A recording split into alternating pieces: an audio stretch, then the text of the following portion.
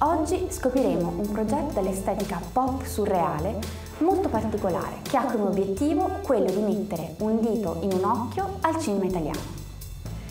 Conosceremo una mente contorta, in grado di far sorridere anche le persone più depresse. Passeremo in rassegna poi le web celebrity internazionali nella nostra consueta classifica. Nuovi predicatori sono spuntati un po' ovunque ed il mio gregge ha cominciato a disperdersi. Ora sono in aspettativa da un anno. Il quarto sesso è un termine coniato un po' di tempo fa da Francesco Bonani per una mostra che parlasse dei territori estremi dell'adolescenza. Il termine nel tempo è cambiato, è stato anche un po' abusato ed oggi è diventato una serie tv disponibile soltanto sul web, che ha come protagonista un Gesù tutto particolare. C'era una volta un pomeriggio di settembre in cui tutte le televisioni del mondo iniziarono a trasmettere la stessa cosa. Una pioggia di vetri, polvere, fotocopie in cielo, fazzoletti sulle bocche, strilli, fughe, sirene, pianti e salti nel vuoto. Si era aperta la stagione dell'inverosimile, celebrata nella fortezza moschiosa di internet ed eravamo tutti invitati.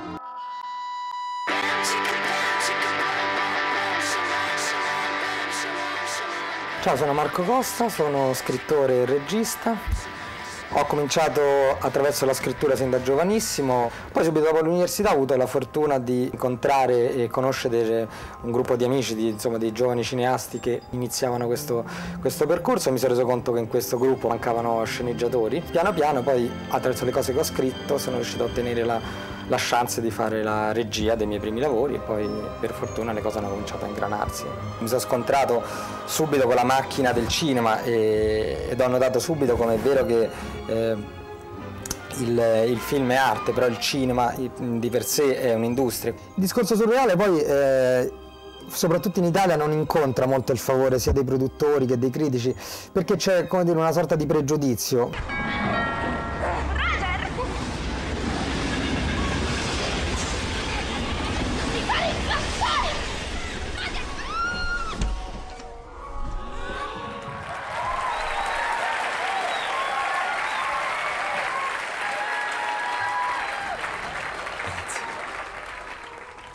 Buon Natale, io sono Jesus. L'idea del quarto sesso eh, mi è nata un po' sotto forma di visione eh, estemporanea di un Natale di un paio d'anni fa, in cui ho immaginato eh, la figura di Gesù, un Jesus che nella mia testa era una versione più pop surreale, chiaramente più stilizzata rispetto alla figura tipica, che giocava a... Um, nel caso, un gioco da tavola con le ragazze, nel caso era Hotel, che era un gioco a cui giocavo da ragazzino, avevo questa ossessione comunque di, di, raccontare il perché ci fosse questo Gesù che giocava con le ragazze, un Gesù particolarmente mh, depresso, non convinto del tutto de, delle proprie potenzialità, un po' come anche spesso e volentieri capita ai, ai giovani d'oggi. E così sono andato da. mi sono incontrato con Marcello Mercalli, che è uno sceneggiatore, regista, mio amico con cui ho lavorato e collaborato in, anche in passato e abbiamo iniziato a svilupparla pensando principalmente ehm, a questa figura di Gesù per poter arrivare ad avvicinare i giovani d'oggi al tema della spiritualità, però facendolo con un linguaggio che fosse molto più, più nuovo, più postmoderno. Non tirarla per le lunghe, Elvis, passa quel pane. Allora, Jesus, parlaci un po' di te, che fai per vivere? Beh, attualmente sono disoccupato. Prima Facevo il predicatore, divulgavo la parola di mio padre. Bei tempi. E poi qualcosa negli esseri umani è cambiato. Il dubbio si è insinuato nei loro cuori.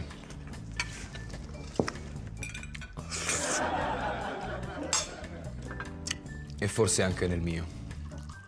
Nuovi predicatori sono spuntati un po' ovunque ed il mio gregge ha cominciato a disperdersi. Ora sono in aspettativa da un anno. Mi sto cercando. Pensavo di scrivere un romanzo. Ci siamo appoggiati su quelle che sono un po' le logiche comunicative della PlayStation, cioè fare, far vedere Gesù che combatte Kung Fu. Ci sembrava un modo per poter presentare questa figura che solitamente è ammantata da, dal, dal timore della Bibbia e via dicendo, più come un supereroe moderno. Ho imparato che non importa quanto gli uomini possano essere deboli o infingardi, Finché su questa terra ci saranno creature come te, non ci sarà mai negato il dono della speranza. Comprava la rosa? Tra le sorprese che abbiamo avuto nel mettere in piedi questo progetto è stata l'adesione di Morgan, che oltre ad aver fatto una splendida colonna sonora ha partecipato nelle, nelle, anticipazioni finali nel ruolo di Karl Marx, che era ruolo, il ruolo del padrone di casa, che in un eh, possibile sviluppo della serie sarebbe diventato uno dei main character della, dell'operazione. Insomma. Jesus è alle prese con una doppia sfida: prendere la patente, vero o vero falso. No, falso, falso, vero.